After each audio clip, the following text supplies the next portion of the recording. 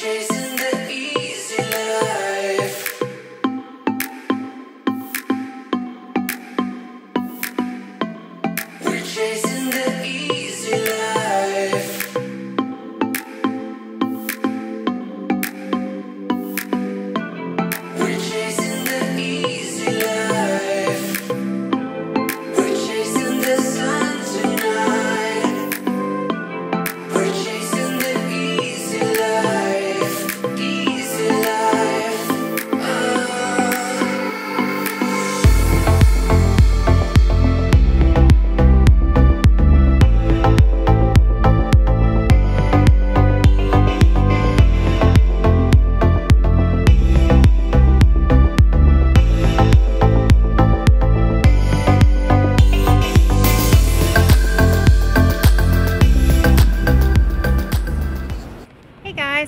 Sunday. I was getting some work done this morning. It's about, I don't know, around 11, so I'm running into CVS because I need to pick up some stuff, so come along. Green sheet, green sheet flyer. Oh look, it's the Neutrogena Hydro Boost Cleansing Gel. You all were asking me about this, like have I tried it? No, I mean, how many times a day do you guys think I, I can wash my face? um, Honestly, I uh, I would probably choose the CeraVe cleansers over this. This has fragrance in it, um, and the CeraVe ones are much more gentle. It's nine dollars and seventy nine cents for six ounces here at CVS. So I don't really think this is worth anybody's time or dollar. FYI, the Hydro Boost hydrating serum. This is probably just a water, a more watery version than the um, than the gel cream. Okay, the gel cream they have here at CVS. They only have the water gel gel cream. This, guys, has fragrance in it. The one that you have to get, the good one, is the um, extra dry sensitive skin one. If you get this one, it's got fragrance in it, and a lot of you all complain about this one, but the ultra dry or extra dry sensitive skin one is the one that you want. I haven't tried the Beauty 360 one though, the CVS brand, um, but let's see. They put fragrance in it, so won't be trying that one. So far, Hada Labo wins, and uh, Hada Labo and Neutrogena Hydro Boost Extra Dry, they win. Extra Dry has the perk over Hada Labo Super Plumping Gel Cream in that it does not have methylchloroisothiazolinone, which is a preservative that is completely safe, but sometimes uh, people can develop an allergy to it. So if you have an allergy or sensitivity to methylchloroisothiazolinone, choose the Neutrogena Hydro Boost Extra Dry Sensitive Skin one if you want a humectant to put on your face when it's wet underneath your moisturizer, just to hold on to a little bit of extra water. All of that for really not a whole lot. Honestly, like I said yesterday in yesterday's vlog, you really don't need the gel cream, the gel boost, the booster, the hyaluronic acid boost. Um, I just happen to like it and I have it and I've repurchased it. and It's just kind of become a habit in my skincare routine, but I think I could go without it, is what I'm saying. Yeah, I, I personally would choose this um, La Roche-Posay Toleriane Hydrating Gentle Cleanser over the Hydro Boost one because it's um, a lot cheaper and this one doesn't have fragrance in it and is really nice. I like this one. Pick this one over the Hydro Boost uh, Gel Cleanser. Oh, you guys are really loving the Cetaphil Gentle Foaming Cleanser. Look, they have it snuck in here in Brian Zellickson's lineup that I reviewed at one point in a CVS drive-by. um, but anyways, uh, this one is uh, fragrance-free. Good job, Cetaphil. Um, I imagine this is not much different than their, um, this is just probably a foaming version of their old school uh, gentle skin cleanser, which I never had a great success with personally. By efficacy, I mean success in its ability to remove my mascara, but anyways. I think Simple did a much better job than Neutrogena in their water boosting micellar magic gel wash here because they, Unilever, chose to not put fragrance in this, um, which I really like. This one is, is much better. Um, see, what happens is they mislead you into thinking that sensitive skin excludes you, okay? If, even if you're not sensitive, you should still choose these kinds of products that are fragrance free. So you all also asked me a lot about the Noxzema Classic Clean. It has fragrance and it also has eucalyptus, which is not a good ingredient in skincare products and can be very irritating. I suppose that's what makes it feel tingly and refreshing. Yeah, if you have rosacea, tingling and refreshing is not anything that you want to be putting on your face that will make you red and that red can last. So I'm not really a fan of Noxzema. I do kind of want to try the hyaluronic acid uh, Hydro Boost mascara that they have. See how it compares to my Ride or Die Never Abandon Maybelline Colossal. Who has tried this? Is this actually any good? I'm going to measure my blood pressure just for fun. Oh, look at this fun little reminder to color your way to five a day. Why is the pineapple brown? It's a little unsettling. One hundo over 75. Boom. Oh, I'm almost out of my, um, my Bath and Body Works candles i almost done. I'm wondering if these, uh, American Home Yankee Candle CVS ones are really good. Sunny Sandals. Banana walnut bread.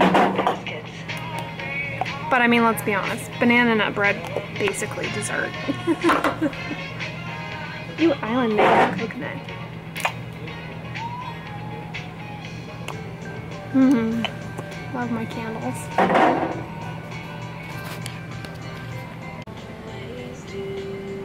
Apparently this guy has a YouTube channel. What up? Give it a thumbs up. I remember having a big one of these as a child. One of these cupcake surprise dolls. Um, it was surprisingly entertaining. And it smelled like like a blueberry muffin. I remember that. Hey guys, so I'm back to my apartment and I think I'm gonna whip up something to eat. I'm thinking I'm gonna have a smoothie bowl. It's kind of about um, late afternoon afternoon time, so I'm gonna have, yes, and I'm gonna have a cup of coffee. I actually have a little bit of coffee uh, that I didn't drink leftover from this morning. I'm just gonna, a little bit of the espresso that I make my Bialetti. So I'm gonna have the last little bits of that with some, uh, I just add boiling water so it comes to hot at, by that point, but yeah, I'm gonna, I think I'm gonna use those uh, Kirkland um, berry blend that I uh, get at Costco. Um, and a third of a, a, frozen banana, some of the berries, and uh, some of that vanilla um, MusclePharm protein powder. And then I'll show you guys what I'm gonna do as far as mix-ins and toppings. All right, so this smoothie bowl is sort of a um, throwback, if you will, to the Berry Berry Kix cereal. Um, I'm gonna be using the three berry blend that I get at Costco. They also have an organic variety of these, it's pretty good. Um, okay, but even though this is three berries,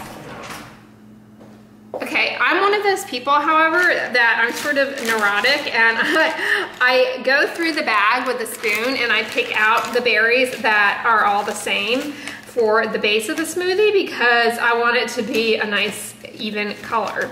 So I think I'm going to do, um, so I'm gonna gather, I want this to be pink, so I'm just gonna gather the raspberries out of it. I'm just like a kid, you know? You go through the cereal and you pick out all the marshmallows. That's kind of what I'm doing here. I'm picking out all the red fruits. There's some bigger red, oh, nope, that's a little bit too, yeah, that's red enough that it won't, it won't contaminate. There's some bigger red raspberries in here and then some smaller ones. Maybe they're like kind of red berries, I'm not sure.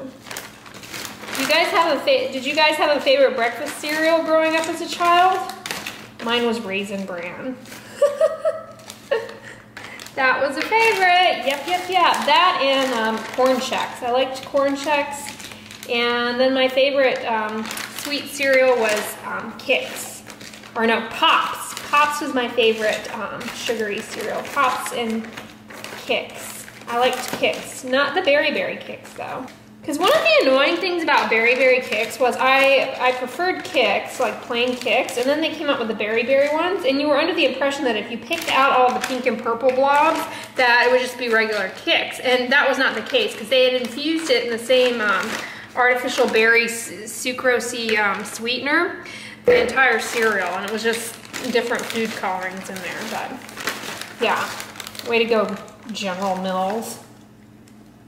And I liked Honey Nut Cheerios, but sometime, I don't know, in the mid 90s, they up this, the, they like started coating the Honey Nut Cheerios in this kind of sugary coating, and they just started tasting shiny. They looked shellacked, so I stopped liking Honey Nut Cheerios sometime in the mid 90s when they started using that weird shiny shellac. Okay, so we've got um, raspberries down there, and about roughly a third of a frozen banana. And I like mine kind of icy.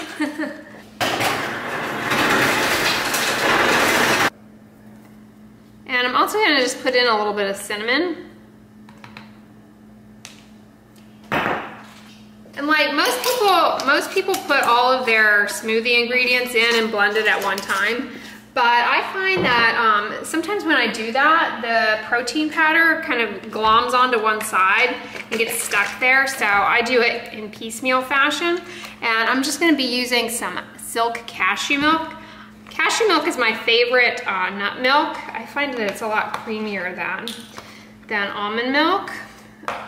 I like almond milk though. I like to change up my nut milks. I also um, want to start making hemp seed milk because I think that's a lot faster even to do than making your own almond milk, which is really easy.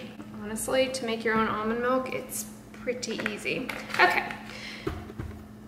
All right, now I'm just gonna put it on my Ninja here.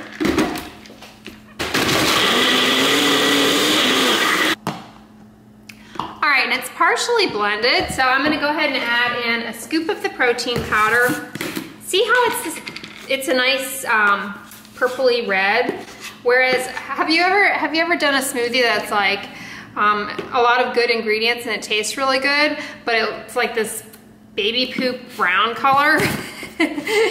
yeah. So I like to at least start out with some uniformity in the effort in an effort to uh, in an effort to reduce that uh, unsightliness. And I'm gonna splash in a little bit more almond milk.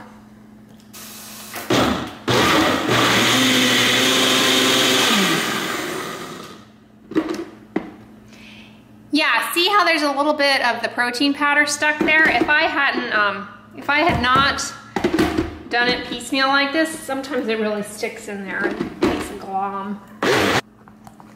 So now I'm just gonna transfer everything into my uh, Pier 1 mug bowl here. First I tap off the, tap off the blades into the bottom.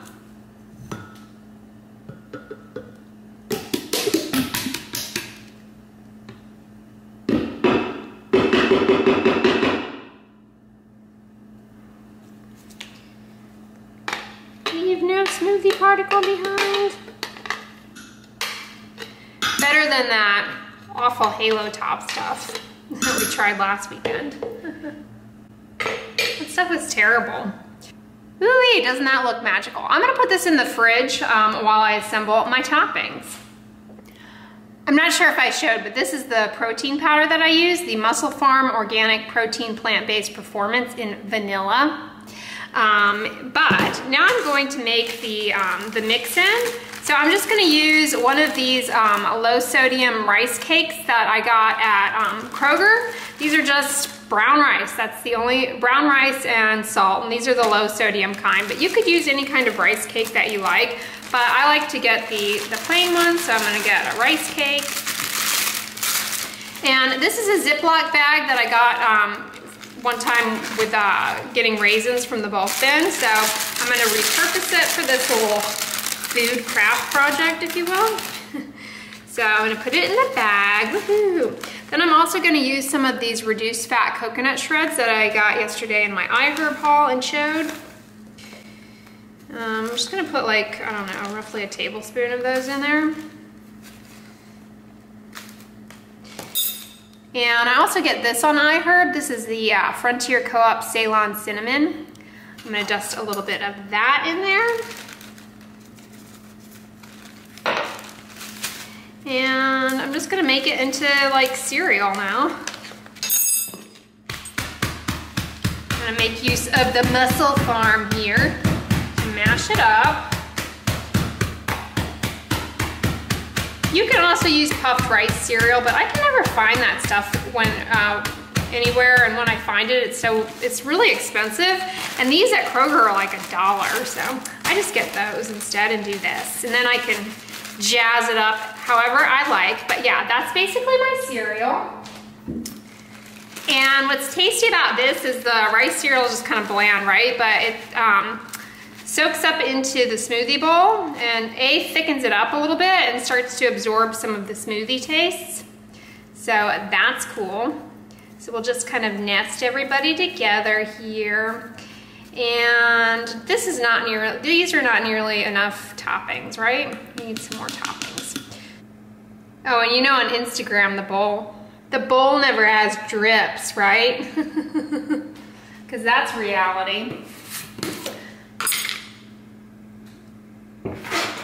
All right, I'm just gonna put some goji berries on top. I'm almost out of goji berries. I gotta remember to get some more of those this week at H Mart. I think I'm gonna go to H Mart this week for groceries. Woohoo!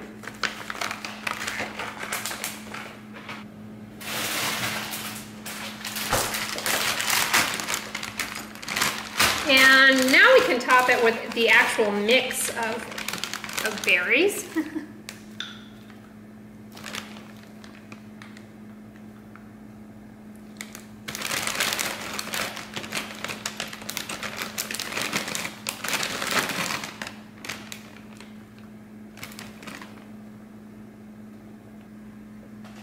And then I always like to drizzle, I like to drizzle a little bit of this blackstrap molasses on it.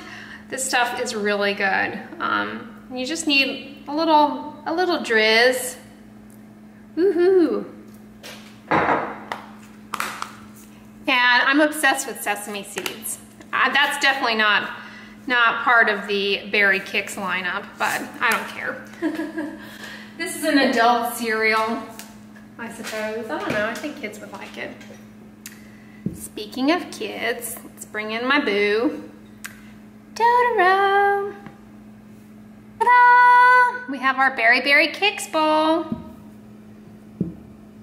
Woohoo! See how yummy that looks?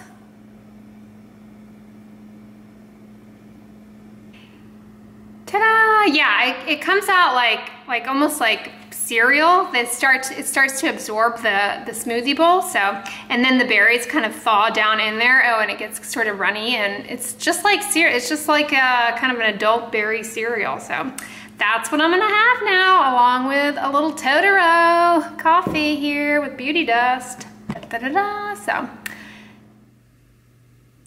well, hey guys, I just uh, got back from the gym, got some work done and went to the gym and uh, got out of the shower.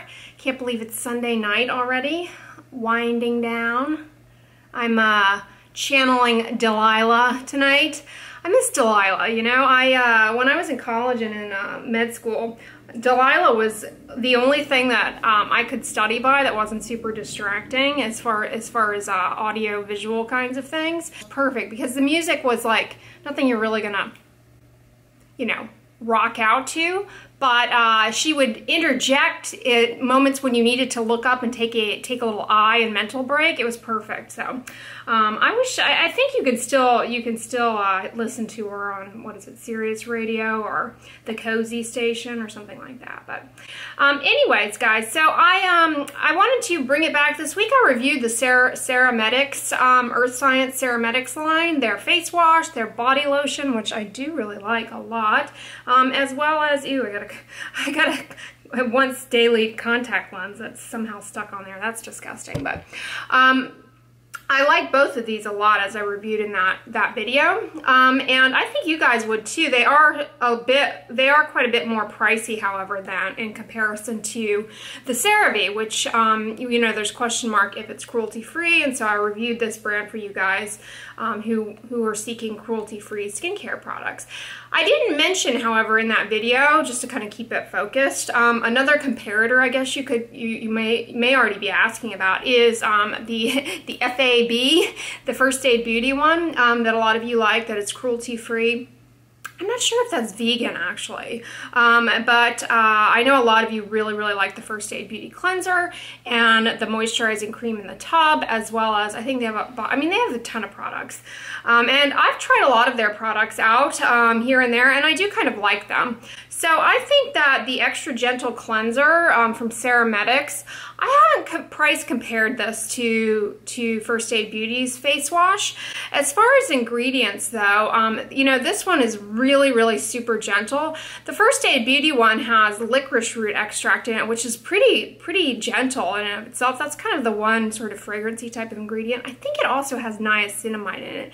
But I swear, whenever I use that First Aid Beauty one, it's definitely, it definitely has some kind of brightening effect. And I, I, am always like kind of blown away by that um, about it because it's, it's, a face wash. You know, nothing, none of the um, logical active ingredients in it sit on the face long enough to really inhibit, uh, you know, melanosome biogenesis and that kind of thing. So I'm always kind of, um, you know, wowed by that. But, you know, this is really wonderful, this facial cleanser by Ceramedx. I think you guys would like it a lot. It is super gentle. I don't think it would cause a problem in any sort of skin type. And the ceramides are vegan, um, rice derived as I reviewed in that. I'm really liking it. Um, so yeah, hopefully you guys are having a good night. My mom, um, if you missed yesterday's little update, my mom had uh, some stuff going on this weekend, a prior obligation. She is more than well. So if you're worried about her, like, where's mom? Is she okay? Yes, my mom is more than fine. Um, I miss her. I'm sure you guys miss her, but don't worry, she'll be back. so hopefully you enjoyed just me this weekend. Um, if you like this video, give it a thumbs up, share it with your friends, and as always, don't forget, sunscreen and subscribe. Talk to you guys tomorrow. Bye.